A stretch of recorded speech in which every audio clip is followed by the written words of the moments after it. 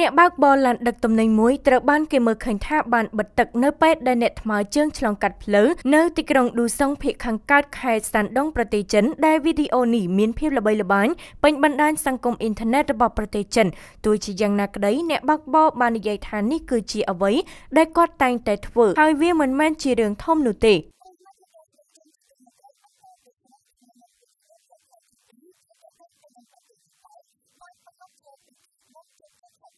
ថ្ងៃនៃសត្វឆ្កែរបស់ប្រទេសនេប៉ាល់ត្រូវបានប្រារព្ធធ្វើឡើងនៅក្នុងខាត់មែនឌូឆ្កែរបស់ប៉ូលីសបានឈប់សម្រាកពីថ្ងៃហ្វឹកហាត់នៅកងទាហានពួកវាទទួលបានកិត្តិយសដោយបានកម្រងផ្កានិងបានលាបពណ៌នៅលើថ្ងាសដែលជាបានប្រទានពរមនុស្សនិយាយថាថ្ងៃនៃសត្វឆ្កែគឺជាការប្រារព្ធពិធី និងការថែរក្សាសត្វឆ្កែសម្រាប់ទំនាក់ទំនងរបស់ពួកវាជាមួយនឹងមនុស្ស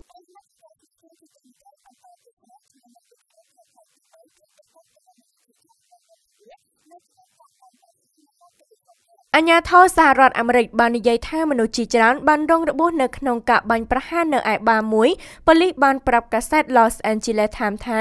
យ៉ាងហោចណាស់នៅក្នុងករណីបាញ់ប្រហារនេះមានក្របកាំភ្លើង30គ្រាប់នៅ Bar and Grill នៅក្នុងតំបន់ South Sands Oak ដែលស្ថិតនៅចម្ងាយប្រហែល40ម៉ៃភាគខាងលិចទីក្រុង Los Angeles ចំនួនជនរងគ្រោះដែលរងរបួសនៅមិនទាន់បញ្ជាក់ច្បាស់នៅឡើយនោះទេដែលសារព័ត៌មាន The Times បានរាយការណ៍ថាមានរបាយការណ៍ជាច្រើនបានបង្ហាញពីការបាញ់ប្រហារនិងមនុស្សត្រូវបានគេវាយប្រហារអាជ្ញាធរបានហាមឃាត់សាធារណជនមិនឲ្យចូលកំសាន្តនៅក្នុងតំបន់នេះ